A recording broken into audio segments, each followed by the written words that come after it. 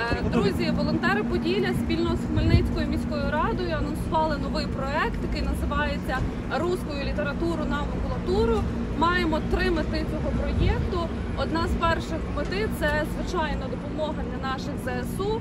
Е, Всі кошти, які будуть виручені з макулатури, будуть спрямовані на купівлю правильних тактичних штук для наших військових.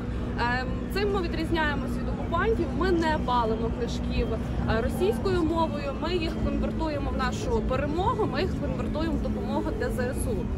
Е, Друга мета цієї акції це просвітницька діяльність. Ми би хотіли, щоб кожен хмельничанин максимально швидко деокупував свою книжкову полицю для того, щоб ми могли показати правильний приклад майбутньому поколінню, і на наших полицях були класні україномовні книжки від українських видавництв, яких потрібно зараз підтримувати та спонсорувати.